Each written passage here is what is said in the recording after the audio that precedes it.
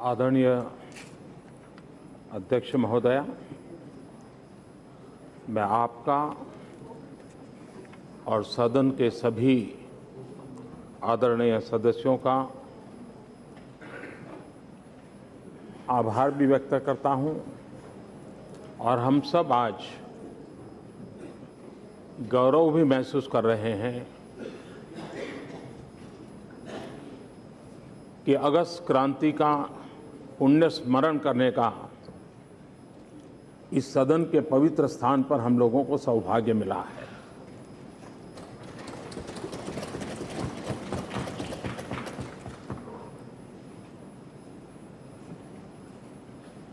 हम में से बहुत लोग हैं जिन्हें शायद अगस्त क्रांति 9 अगस्त उन घटनाओं का स्मरण होगा। लेकिन उसके बाद भी हम लोगों के लिए भी पुनः स्मरण प्रेरणा का कारण बनता है। और समाज जीवन में ऐसी महत्वपूर्ण घटनाओं का बार बार स्मरण, जीवन की भी अच्छी घटनाओं का बार बार स्मरण जीवन को एक नई ताकत देता है, राष्ट्र जीवन को भी नई ताकत देता है। उसी प्रकार से हमारी जो नई पीढ़ी है, उन तक भी एक बात पहुंचाना हम लोगों का कर्तव्य रहता है। पीढ़ी दर पीढ़ी इतिहास के एक स्वर्णिम पृष्ठों को, उस समय के माहौल को, उस समय के हमारे महापुरुषों के बलिदान को, कर्तव्य को, सामर्थ्य को, आने वाली पीढ़ियों तक पहुँचाने का भी हर पीढ़ी का दायित्व रहता है। जब अगस्त क्रांति के पच्चीस साल हुए, पचास साल हुए, देश के सभी लोगों ने उन घटनाओं का स्मरण किया था। आज 75 साल हो रहे हैं। और मैं इसे बड़ा महत्वपूर्ण मानता हूँ। और इसलिए मैं अध्यक्ष महोदय जी का आभारी हूँ कि आज हमें ये अवसर मिला है। देश के स्वतंत्रता आंदोलन में 9 अगस्त एक ऐसी अवस्था में है। इतना व्यापक, इतना तीव्र आंदोलन अंग्रेज़ों ने भी कल्पना नहीं की थी। महात्मा गांधी, वरिष्ठ नेता सब जेल चले गए। और वही पल था कि अनेक नए नेतृत्व के ने जन्म लिया। लाल बहादुर शास्त्री राम मनोहर लोहिया, जयप्रकाश नारायण, कई अनेक वीर युवा उस समय उस जो खाली जगह थी उसको भरा और आंदोलन को आगे बढ़ाया। इतिहास की ये घटनाएँ हम लोगों के लिए एक नई प्रेरणा, नया सामर्थ्य, नया संकल्प, नया कर्तृत्व जगाने के लिए किस प्रकार से अवसर बने, ये हम लोगों का निरंतर प्रयास रहना चाहिए। 1947 में देश आज़ाद हुआ। एक प्रकार से अठारह सौ सत्तावन से लेकर के उन्नीस सौ सैंतालीस तक आज़ादी के आंदोलन के अलग अलग पड़ाव आए अलग अलग पराक्रम हुए अलग अलग बलिदान हुए। उतार चढ़ाव भी आए। अलग अलग मोड़ पर से आंदोलन गुजरा। लेकिन सैतालीस की आज़ादी के पहले बयालीस की घटना एक प्रकार से अंतिम व्यापक आंदोलन था। अंतिम व्यापक जनसंघर्ष था। और उस जन संघर्ष में आज़ादी के लिए देशवासियों को सिर्फ़ समय का ही इंतज़ार था, वो स्थिति पैदा कर दी थी। और जब हम आज़ादी के इस आंदोलन की ओर देखते हैं तो 1942 एक ऐसी पीठिका तैयार हुई थी। अठारह सौ सत्तावन का स्वातंत्र संग्राम एक साथ देश के हर कोने में आज़ादी का ब्यूगल बजा था। और उसके बाद महात्मा गांधी का विदेश से लौटना, लोकमान्य तिलक का पूर्ण स्वराज और स्वराज मेरा जन्म जन्मसिद्ध अधिकार है, उस भाव को प्रकट करना। 1930 में महात्मा गांधी की दांडी मार्च, नेताजी सुभाष बोस द्वारा आज़ाद हिंद फौज की स्थापना अनेक वीर भगत सिंह सुखदेव, राजगुरु, चंद्रशेखर आज़ाद, चाफेकर बंधु, अनगिनत अपने अपने समय पर बलिदान देते रहे। ये सारा ने एक पीठिका तैयार की और इस पीठिका का परिणाम था कि बयालीस ने देश को एक उस छोर पे लाकर रख दिया। कि अब नहीं तो कभी नहीं। आज नहीं होगा तो फिर कभी नहीं होगा ये मिजाज देशवासियों का बन गया था। और इसके कारण उस आंदोलन में इस देश का छोटा मोटा हर व्यक्ति जुड़ गया था।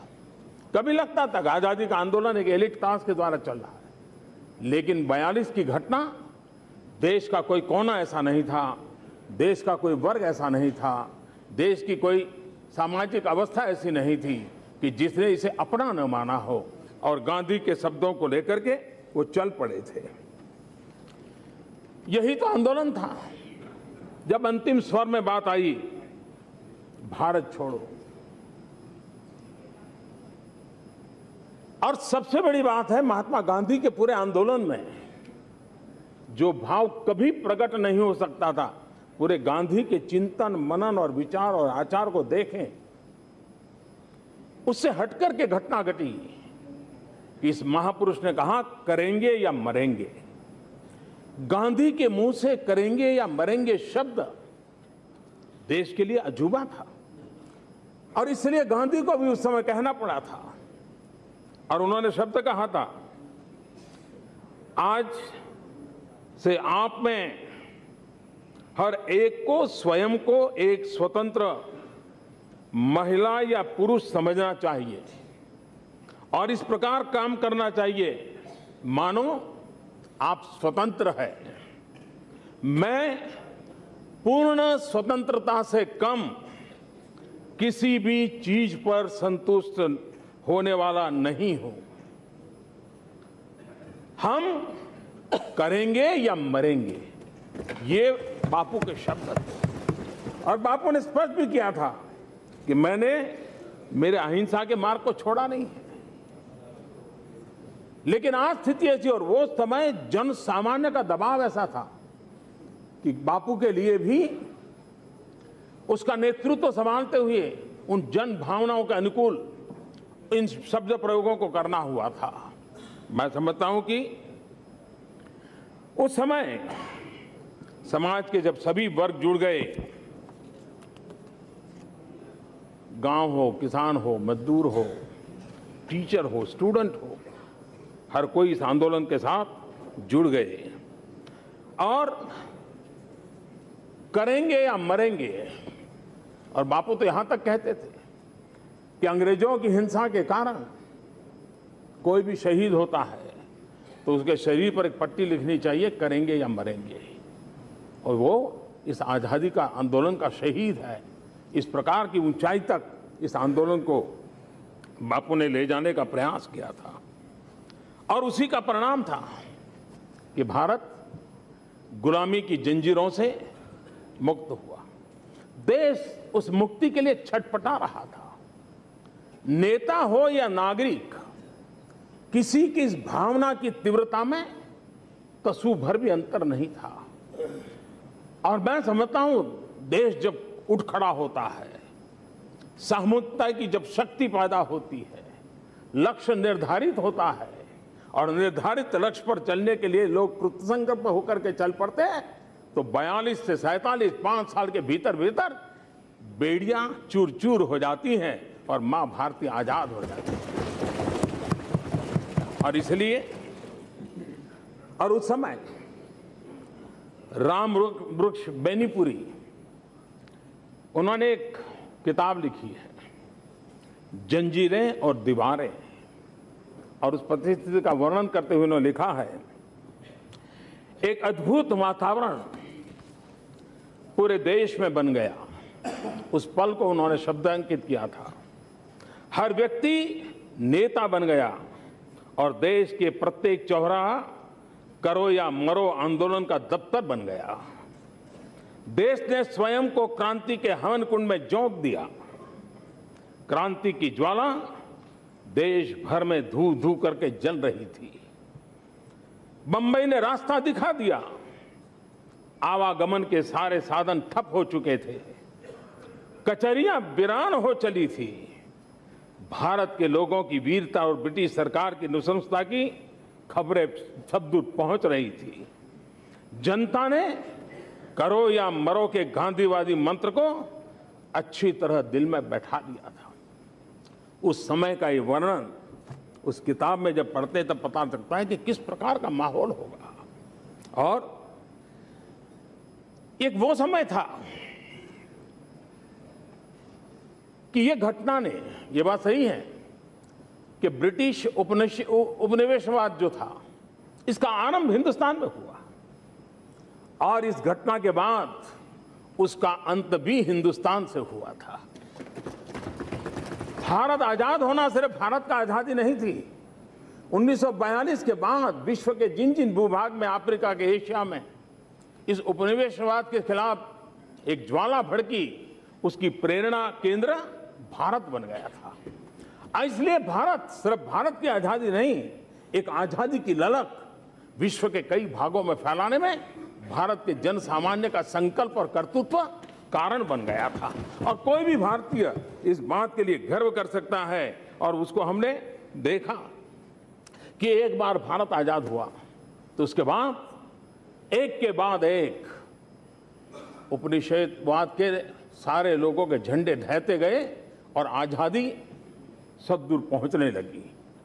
कुछ ही वर्षों में दुनिया के सारे देशों को आज़ादी प्राप्त हो गई और ये काम और ये इससे बताता है कि ये भारत की इच्छा शक्ति का, प्रबल इच्छा शक्ति का एक उत्तमोत्तम परिणाम था।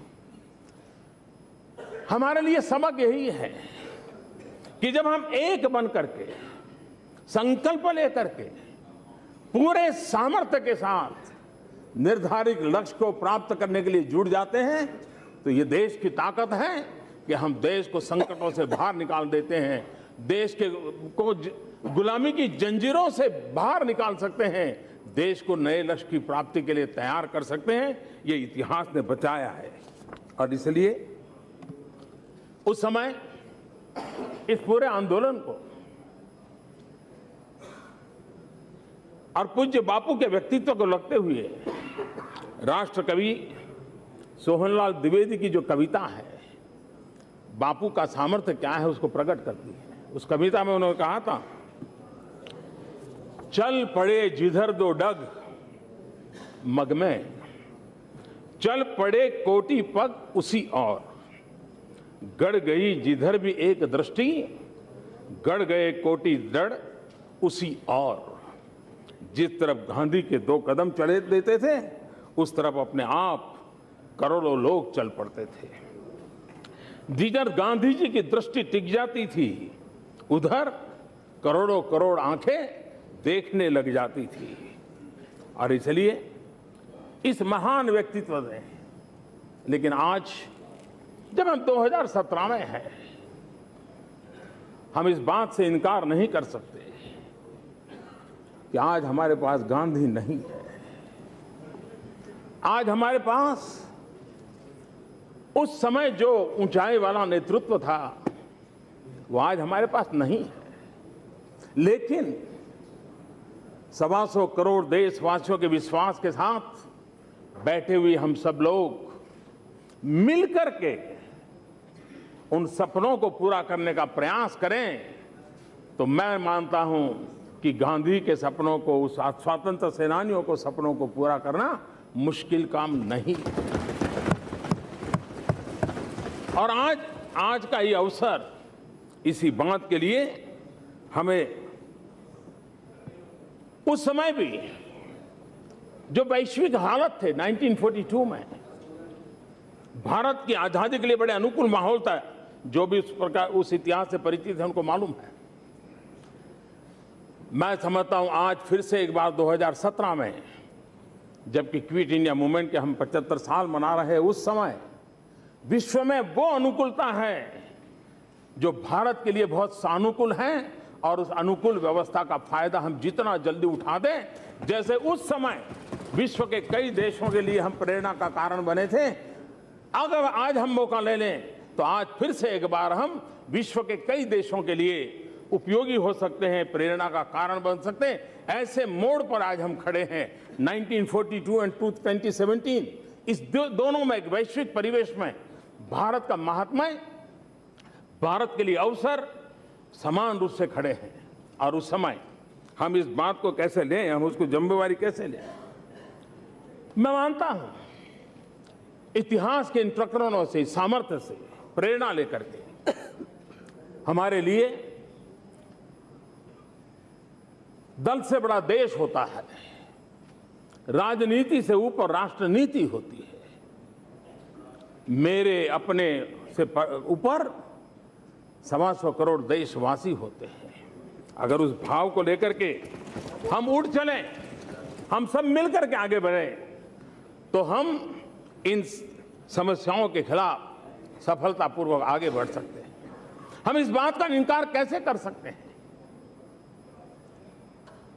कि भ्रष्टाचार रूपी दीमक ने देश को कैसे तबाह करके रखा हुआ है। राजनीतिक भ्रष्टाचार हो, सामाजिक भ्रष्टाचार हो या व्यक्तिगत भ्रष्टाचार हो, कल क्या हुआ, कब किसने किया, उसके लिए, विवाद के लिए समय बहुत होते हैं। लेकिन आज पवित्र पल हम आगे कोई ईमानदारी का उत्सव मना सकते हैं, ईमानदारी का संकल्प लेकर के देश का नेतृत्व कर सकते हैं, क्या देश को ले जा सकते हैं? ये समय की मांग है, देश के सामान्य मानवीय की मांग है। गरीबी, कुपोषण, अशिक्षा, ये हमारे सामने चुनौतियाँ हैं। इन चुनौतियों को हम सरकार की चुनौतियाँ न माने, वो चुनौतियाँ देश की है, देश के गरीब के सामने संकट भरे सवाल खड़े हैं, और इसलिए देश के लिए जीने मरने वाले, देश के लिए संकल्प करने वाले हम सब लोगों का दायित्व बनता है कि इसको पूरा करने के लिए हम कुछ मुद्दों पर 1942 में भी अलग अलग धारा के लोग थे, हिंसा में विश्वास करने वाले भी लोग थे। नेताजी सुभाष बाबू की सोच अलग थी, लेकिन बयालीस में सबने एक स्वर से कह दिया था, आज तो गांधी के नेतृत्व में ट्वीट इंडिया यही हमारा मार्ग है। हमारे भी लालन पालन विचारधारा अलग अलग रही होगी। लेकिन ये समय की मांग है, ये समय की मांग है कि हम कुछ बिंदुओं से देश को मुक्त कराने के लिए संकल्प का अवसर लेकर के चले, चाहे गरीबी हो, भुखमरी हो, अशिक्षा हो अंतश्रद्धा हो। महात्मा गांधी का, महात्मा गांधी का, ग्राम स्वराज का सपना कितना पीछे छूट गया। क्या कारण है कि गाँव लोग छोड़ छोड़ करके शहरों की ओर बस रहे। थे गाँव की उस चिंता को गांधी के जो मन में गाँव था, क्या हम हमारे भीतर उसको पुनर्जीवित कर सकते हैं क्या? गाँव गरीब, किसान, दलित, पीड़ित, शोषित, वंचित, उसके जीवन के लिए अगर हम कुछ कर सकते हैं मिल करके करना है। ये सवाल मेरा और तेरा नहीं है, ये सवाल इस पार का, उस पार का नहीं है। ये हम सबका है सवा सौ करोड़ देशवासियों का है सवा सौ करोड़ देशवासियों के जनप्रतिनिधि का है। और यही तो जब समय होता है, जब वो प्रेरणा हम लोगों को कुछ कर लेने की शक्ति देती है और उसको लेकर के हम आगे चल सकते हैं। हम ये भी जानते हैं, देश में जाने अनजाने में अधिकार भाव प्रबल होता चला गया। कर्तव्य भाव लुप्त होता गया। राष्ट्र जीवन के अंदर, समाज जीवन के अंदर, अधिकार भाव का महात्म्य उतना ही रहते हुए भी अगर कर्तव्य भाव को थोड़ा सा भी हम कम आंकने लगेंगे तो समाज जीवन में कितनी बड़ी मुसीबतें होती और दुर्भाग्य से दुर्भाग्य से हम लोगों का वे ऑफ़ लाइफ हमारे चरित्र में कुछ चीज़ें घुस गई है। जिसमें हमें बुरा ही नहीं लगता कि मैं गलत कर रहा हूँ। अगर मैं चौराहे पर रेड लाइट का को छोड़ करके क्रॉस करके निकल जाता हूँ तो मुझे लगता ही नहीं कि मैं कानून तोड़ रहा हूँ। मैं कहीं पर थूक देता हूँ, गंदगी करता हूँ, हमें लगता ही नहीं कि मैं गलत कर रहा हूँ। हम अपने कर्तव्य भाव से एक प्रकार से हमारे जहन में, हमारे वे ऑफ़ लाइफ में इस प्रकार की नियमों को तोड़ना, कानूनों को तोड़ना ये स्वभाव बनता चला गया है। छोटी छोटी घटनाएँ हिंसा की ओर ले जा रही हैं। अस्पताल में किसी डॉक्टर के द्वारा कोई पेशेंट का कुछ हुआ? डॉक्टर दोषी है, नहीं है, अस्पताल दोषी है, नहीं है। रिश्तेदार जाते हैं, अस्पताल को आग लगा देते हैं, डॉक्टर को मारते हैं, पीटते हैं। हर छोटी मोटी घटना कहीं एक्सीडेंट हो गया। हम कार को जला देते हैं ड्राइवर को मार देते हैं। ये जो चला है ये हम लॉ ऑफ़ के लॉ अबाइंडिंग जो सिटीजन के नाते हमारा कर्तव्य होना चाहिए, हम मानने लगे हैं कि हमारे से ये छूट गया है। हमारे वे ऑफ़ लाइफ में ऐसी चीज़ें घुस गई है, जैसे हमें लगता ही नहीं है कि हम कानून तोड़ रहे हैं। और इसलिए ये लीडरशिप की जिम्मेवारी होती है। समाज के अंदर हम सब की जिम्मेवारी होती है कि हम समाज के अंदर इन दोषों से मुक्ति दिला करके समाज के अंदर कर्तव्य भाव को जगाएँ। शौचालय, स्वच्छता, ये विषय मज़ाक के नहीं है। उन माँ बहनों की परेशानी समझे तब पता चलता है कि जब शौचालय नहीं होता तो रात के अंधेरे का इंतज़ार करते समय दिन कैसे बिताना पड़ता है। और इसलिए शौचालय बनाना एक काम है, लेकिन समाज की मानसिकता बदल करके शौचालय का उपयोग करना ये जन सामान्य की शिक्षा के लिए आवश्यक होता है। इस भाव को हमें जगाना होगा। और ये भाव कानूनों से नहीं होता है, कानून बनाने से नहीं होता है। कानून उसमें मदद कर सकता है, लेकिन कर्तव्य भाव जगाने से ज़्यादा हो सकता है और इसलिए हम लोगों को करना होगा। हमारे देश की माताएँ बहनें,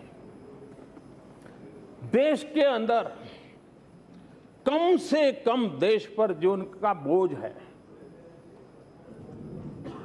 देश को कम से कम जिनका बोझ सहना पड़ता है वो अगर कोई वर्ग है तो इस देश की माताएँ, बहनें हैं, महिलाएँ हैं। उनका सामर्थ्य हमें कितनी ताकत दे सकता है? उनकी भागीदारी हमारे विकास के अंदर हमें कितना बल दे सकती है? पूरे आज़ादी के आंदोलन में देखिए, महात्मा गांधी के साथ आंदोलन के जहाँ जहाँ हुआ, अनेक ऐसी माताएँ, बहनें उस आंदोलन का नेतृत्व करती थी। और देश को आज़ादी दिलाने में भी हमारी माताओं बहनों का उस युग में भी उतना ही योगदान था। आज भी राष्ट्र के जीवन में उनका उतना ही योगदान है। उसको आगे बढ़ाने की दिशा में हम लोगों ने कर्तव्य से आगे बढ़ना चाहिए। ये बात सही है कि अठारह सौ सत्तावन से 1942 हमने देखा कि आज़ादी का आंदोलन अलग अलग पड़ाव से गुजरा। उतार चढ़ाव आए अलग अलग मोड़ आए नेतृत्व नए नए आते गए, कभी क्रांति का पक्ष ऊपर हो गया तो कभी अहिंसा का पक्ष ऊपर हो गया, कभी दोनों धाराओं के बीच में टकराव का भी माहौल रहा, कभी दोनों धारा एक दूसरे को पूरक भी हुई। लेकिन हमने देखा है कि करता, लेकिन ये सारा अठारह सौ सत्तावन से 1942 का कालखंड हम देखें, एक प्रकार से इंक्रीमेंटल था। धीरे धीरे बढ़ रहा था धीरे धीरे फैल रहा था धीरे धीरे लोग जुड़ रहे। थे लेकिन 1942 टू 1947 वो इंक्रीमेंटल चेंज नहीं था। एक डिस्ट्रप्शन का एनवायरमेंट था और उसने सारे समीकरणों को खत्म करके आज़ादी देने के लिए अंग्रेज़ों को मजबूर कर दिया था, जाने के लिए मजबूर कर दिया अठारह से तो 1942 धीरे धीरे कुछ होता रहता था, चलता रहता था, लेकिन 42 से 47 वो स्थिति नहीं थी। हम भी देखें समाज जीवन में। हम पिछले 100-200 साल का इतिहास देखें तो विकास की यात्रा एक इंक्रीमेंटल रही थी। धीरे धीरे दुनिया आगे बढ़ रही थी धीरे धीरे दुनिया अपने आप को बदल रही थी। लेकिन पिछले 30-40 साल में दुनिया में अचानक बदलाव आया, जीवन में अचानक बदलाव आया और टेक्नोलॉजी ने बहुत बड़ा रोल प्ले किया। कोई कल्पना नहीं कर सकता जो ये तीस चालीस साल में दुनिया में जो बदलाव आया है, व्यक्ति के जीवन में, मानव जीवन में, सोच में जो बदलाव आया है, तीस चालीस साल पहले हमें नज़र भी नहीं आता था। एक डिस्ट्रप्शन वाला एक पॉजिटिव चेंज हम अनुभव करते हैं। जिस प्रकार से इंक्रीमेंटल से बाहर निकल करके एक सम से एक हाई जंप की तरफ़ चले गए, मैं समझता हूँ 2017 2022 क्विट इंडिया के 75 साल और आज़ादी के 75 साल के बीच का पाँच साल 42 टू 47 का जो मिजाज था, वही मिजाज अगर दोबारा हम देश में पैदा करें। 2070 टू 2022 आज़ादी के 75 साल मनाएँगे तब तब हम देश के, हमारे आज़ादी के वीरों के जो कामनाएँ थी, उन सपनों को पूरा करने के लिए हम अपने आप को खपाएँगे। हम अपने संकल्प को लेकर के आगे चलेंगे। मुझे विश्वास है न सिर्फ़ हमारे देश की भला भला होगा, लेकिन जैसे 42 टू 47 की सफलता के कारण दुनिया के अनेक देशों को लाभ मिला, आज़ादी की ललक पैदा हुई, ताकत मिली, भारत को भी आज दुनिया का कई देश, एक भाग ऐसा है जो भारत को उस रूप में देख रहा है। अगर हम 2070 टू 2022 जो कि हम लोगों की जिम्मेवारी का कालखंड है, अगर हम विश्व के सामने भारत को ऊंचाई पर लेकर जाते हैं तो विश्व का एक बहुत बड़ा समुदाय है। जो किसी नेतृत्व की तलाश में, मदद की तलाश में है किसी के प्रयोगों से सीखना चाहता है, भारत उस पूर्ति के लिए सामर्थ्यवान है। अगर उसको करने के लिए हम कोशिश करें, मैं समझता हूँ देश की बहुत बड़ी सेवा होगी। और इसलिए एक सामूहिक इच्छा शक्ति जगाना, देश को संकल्पबद्ध करना, देश के लोगों को साथ जोड़ करके चलना, और इन पाँच वर्ष के महत्व को हम अगर आगे बढ़ाएँगे तो मुझे विश्वास है कि हम कुछ मुद्दों पर सहमति बना करके बहुत बड़ा काम कर सकते हैं। हमने अभी अभी देखा जीएसटी और ये मैं बार बार कहता हूँ, ये मेरा सिर्फ़ राजनीतिक स्टेटमेंट नहीं है, ये मेरा कन्विक्शन है। जीएसटी की सफलता, ये किसी सरकार की सफलता नहीं है। जीएसटी की सफलता किसी दल की सफलता नहीं है। जीएसटी की सफलता इस सदन में बैठे हुए लोगों की इच्छा शक्ति का परिणाम है। चाहे यहाँ बैठे हो, चाहे वहाँ बैठे हो यह सबको जाता है, राज्यों को जाता है, देश के सामान्य व्यापारी को जाता है। और उसी के कारण संभव हुआ है। जो देश के राजनीतिक नेतृत्व अपनी प्रतिबद्धता के कारण इतना बड़ा काम कर लेती है और दुनिया के लिए अजूबा है जीएसटी विश्व के लिए बहुत बड़ा अजूबा है, उसके स्केल को देख करके हुए। अगर ये देश ये कर सकता है तो और भी सारे निर्णय ये देश मिल करके कर सकता है। और सवा सौ करोड़ देशवासियों के प्रतिनिधि के रूप में सवा सौ करोड़ देशवासियों को साथ लेकर के 2022 को संकल्प लेकर के अगर हम चलेंगे, मुझे विश्वास है कि जो परिणाम हमें लाना है, और वो परिणाम हम ला के ला के रहेंगे। महात्मा गांधी ने नारा दिया था, करो या मरो। उस समय का सूत्र था, करेंगे या मरेंगे। आज 2017 में 2022 को भारत कैसा हो संकल्प लेकर के अगर चलना है तो हम लोगों को भी, हम सब मिलकर के देश से भ्रष्टाचार दूर करेंगे और करके रहेंगे। हम सभी मिलकर गरीबों को उनका अधिकार दिलाएँगे और दिलाकर रहेंगे। हम सभी मिलकर नौजवानों को स्वरोजगार के और अवसर देंगे और देकर रहेंगे। हम सभी मिलकर देश से कुपोषण की समस्या को खत्म करेंगे और करके रहेंगे। हम सभी मिलकर महिलाओं को आगे बढ़ने से रोकने वाली बेड़ियों को खत्म करेंगे और करके रहेंगे।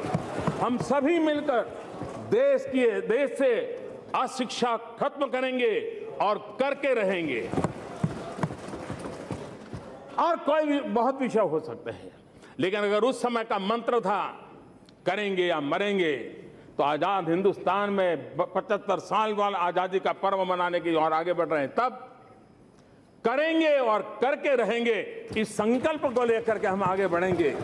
ये संकल्प किसी दल का नहीं, ये संकल्प किसी सरकार का नहीं, ये संकल्प सवा सौ करोड़ देशवासी, सवा सौ करोड़ देशवासियों के जनप्रतिनिधि इन सब का मिलकर के जब संकल्प बनेगा तो मुझे विश्वास है, संकल्प से सिद्धि के ये पाँच साल 2017 से 2022 आज़ादी के 75 साल, आज़ादी के दीवानों को सपना पूरा करने का सामर्थ्यवान समय, इसको हम प्रेरणा का कारण बनाए। आज अगस्त क्रांति दिवस पर उन महापुरुषों का स्मरण करते हुए, उनके त्याग, तपस्या, बलिदान का स्मरण करते हुए, उस पुण्य स्मरण से आशीर्वाद मांगते हुए हम सब मिलकर करके कुछ बातों पर सहमति बना करके देश का नेतृत्व दें, देश को समस्याओं से मुक्त करें, सपने, सामर्थ्य, शक्ति और लक्ष्य की पूर्ति के लिए आगे बढ़े। इसी एक अपेक्षा के साथ मैं फिर एक बार अध्यक्ष महोदय जी, मैं आपका आभार व्यक्त करता हूँ और आज़ादी के दीवानों को नमन करता हूँ। श्रीमती सोनिया गांधी।